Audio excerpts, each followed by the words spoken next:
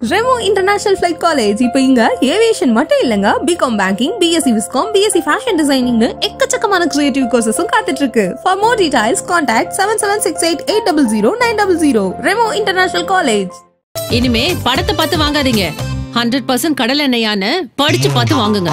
கடலை எண்ணெயில் number one Mister Gold hundred percent கடலை எண்ணெய். டூ தௌசண்ட் டுவெண்ட்டி டூ அடுத்த வருஷம் ஐபிஎல் பொறுத்த வரைக்கும் மெகா ஏலம் வரப்போகுது. அடுத்த சீசனை பொறுத்த வரைக்கும் ஒரு அணி எவ்வளவு வலிமையான டீமா இருக்கு இல்ல பலவீனமா இருக்கு அப்படிங்கறத தீர்மானிக்கக்கூடிய ஒரு மெகா ஏலம் அப்படிங்கறதுனால ஐபிஎல் டீம்களும் ரசிகர்களும் இதை எதிர்நோக்கி காத்துட்டு இருக்காங்க ஒவ்வொரு உரிமையாளரும் ஒரு மெகா ஏலத்துல அவங்களுடைய வீரர்களை புத்திசாலித்தனமா தேர்ந்தெடுக்கணும் அப்படிங்கறதுல கவனமா இருப்பாங்க. ஒரு நிமிஷ தவறு கூட ஒரு பட்டத்தையே வெல்லக்கூடிய வாய்ப்பை குறைச்சிடும் அப்படிங்கறதுனால இந்த ஒரு ஏலம் ரொம்ப முக்கியமான ஒரு ஏலமா பார்க்கப்படுது. அதுல சென்னை சூப்பர் கிங்ஸை பொறுத்த வரைக்கும் ஒவ்வொரு வருஷமும் ஒரு சில மாற்று வீரர்களை மட்டுமே அவங்களோட டீமுக்குள்ள வச்சிட்டு இருக்காங்க முழுமையான ஒரு மாற்றத்தை தவிர்க்கணும். ஏற்கனவே நம்ம டீம்ல இருக்கக்கூடிய வீரர்கள் எல்லாத்தையுமே தக்க வச்சுக்கணும் அப்படிங்கறதான் பாத்துட்டு இருக்காங்க ரெண்டாயிரத்தி பதினெட்டாவது வருஷம் நடந்த கடைசி மெகா ஏலத்துக்கு அப்புறமா முக்கியமான வீரர்களை சிஎஸ்கே அவங்களுக்குள்ளேயே தக்க வச்சிட்டு இருக்காங்க அதனால ரெண்டாயிரத்தி பதினெட்டாவது வருஷம் அவங்க பட்டத்தையும் வின் பண்ணாங்க. இருந்தாலும் ரெண்டாயிரத்தி இருபத்தி ரெண்டாவது வருஷம் வர இருக்கக்கூடிய மெகா ஏலம் சிஎஸ்கேவுக்கு ஒரு தலைவலியாவே இருக்கும் அப்படின்னு இப்ப கிரிக்கெட் வல்லுநர்கள் பல பேர் கணிச்சு சொல்லியிருக்காங்க இப்ப சிஎஸ்கேவை பொறுத்த வரைக்கும் பெரும்பாலான வீரர்கள் எல்லாமே முப்பது வயசுக்கு மேற்பட்டவங்க தான். இவங்கள தக்க வச்சுக்கணும் அப்படிங்கறதுல நிறைய பேர் மேல சிலருக்கு விருப்பம் இல்லதான் இதுல Ravindra Jadeja and Sam Curran இந்த மாதிரி முக்கியமான ஆல்ரவுண்டர்ஸை நம்ம டீம்ல தக்க வச்சுக்கணும் அப்படின்னு தான் சிஎஸ்கே நினைப்பாங்க. சிஎஸ்கே நிர்வாகம் இந்த டூ தௌசண்ட் டுவெண்ட்டி ஒனை பொறுத்த வரைக்கும் ஆர்டிஎம் அட்டைகளை ரொம்பவே புத்திசாலித்தனமா பயன்படுத்தணும் அப்படிங்கிறது தான் இப்ப எல்லாராலையுமே எதிர்பார்க்கப்படுது.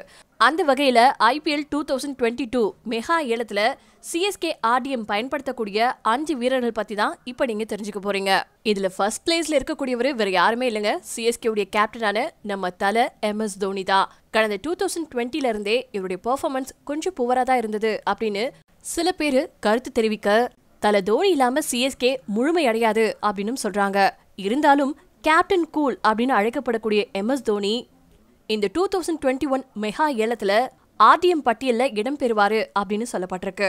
இந்த ஒரு விஷயம் தோனியை நேரடியாக தக்க வச்சுக்கிறதுக்கு பதிலாக ஆர்டிஎம் வழியாக தக்க வச்சுக்கணும் அப்படிங்கிறதுக்கு சிஎஸ்கே நிர்வாகத்தை தூண்டுது. டூ தௌசண்ட் எயிட்டுக்கு அப்புறமா முதல் முறையா இந்த மெகா ஏலத்துக்கு வரதுக்கான வாய்ப்புகள் இருக்கு அப்படின்னு சொல்லப்படுது. அண்ட் அடுத்ததா இந்த வரிசையில் வரக்கூடியது மொயின் அலி. மொயின் அலிக்கு அதிகப்படியான தொகையை கொடுத்து ஏலத்தில் எடுத்துட்டாங்க அப்படின்னு பலதரப்பட்ட விமர்சனங்கள் வந்துச்சுதான். ஆனாலும் மொயின் அலி அவர் மேல வச்சிருக்கக்கூடிய நம்பிக்கையை இந்த two thousand twenty one IPL மேட்ச்ல நல்லாவே காமிச்சிருந்தாரு. அதனால சாம்கர்னை காட்டிலும் கண்டிப்பா மொயின் அலியை தக்க வச்சுக்கிறதுக்கு சிஎஸ்கே நிர்வாகம் ரொம்பவே மெனக்கெடுவாங்க அப்படின்னு சொல்லப்பட்டிருக்கு. அடுத்ததா இந்த வரிசையில கண்டிப்பா தீபக் சஹார் இருப்பாரு அப்படின்னு சொல்லப்பட்டிருக்கு. என்ன ரீசன்னா சிஎஸ்கேவை பொறுத்த வரைக்கும் வருஷ வருஷம் சைலண்டா அதிகப்படியான விக்கெட்ஸ் எல்லாம் எடுத்து தன்னுடைய திறமையை காமிச்சிட்டே வந்துட்டு இருக்காரு தீபக் சஹார். இது போக எம் எஸ் தோனியும் இவர் மேல அபாரமான நம்பிக்கை வச்சிருக்காரு. இவருடைய நம்பிக்கைய வருஷ வருஷம் காப்பாத்திட்டு இருக்காரு தீபக் சஹார்.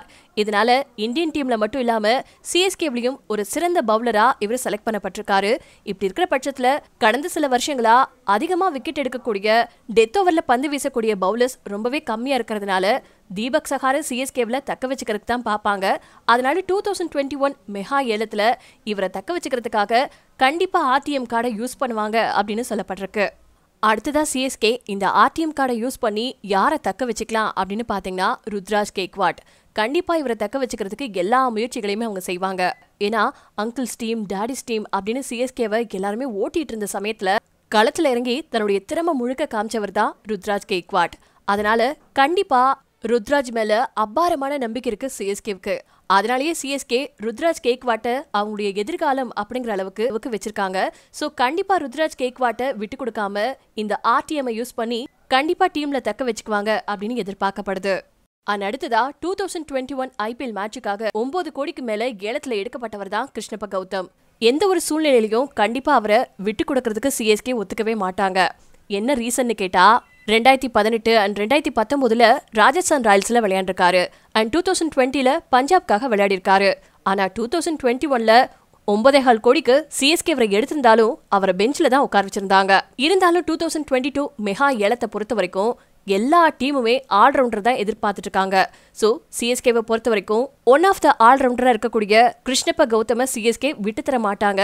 ஸோ அதனால ஆர்டிஎம் கார்டை யூஸ் பண்ணி அவரை டீம்லயே தக்க வச்சுக்கிறதுக்கு தான் விரும்புவாங்க அப்படின்னு எல்லாராலையும் எதிர்பார்க்கப்படுது.